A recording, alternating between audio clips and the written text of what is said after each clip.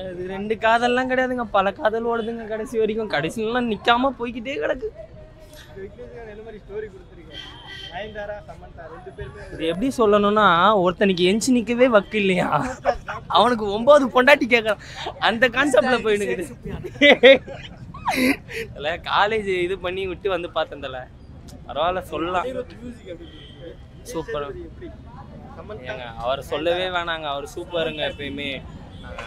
சமந்தா கொஞ்சம் காமிச்சிருக்கலாம். நல்ல ட்ரெஸ்ஸு நல்லா சூப்பராக போட்டிருந்தாங்க. நான் கொஞ்சம் காமிச்சிருக்கலாம். ஆனால் நயன்தாரா தான் ஹோம்லியாக காமிச்சது தான் நம்மளுக்கு கொஞ்சம் இஷ்யூ ஆயிடுச்சு.